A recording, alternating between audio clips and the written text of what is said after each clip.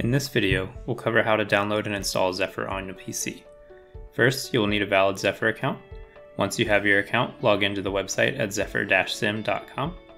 Go to your dashboard. If you're not already there, there's a button in the top right to navigate to the dashboard.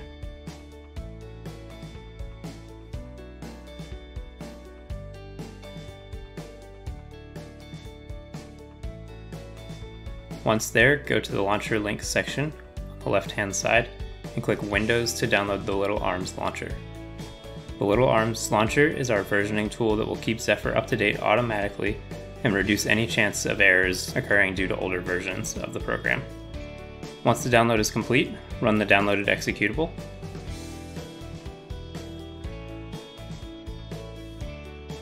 If prompted, allow the installation. Follow the on-screen instructions to complete this installation of your launcher. When your installation is complete, run the Little Arms launcher.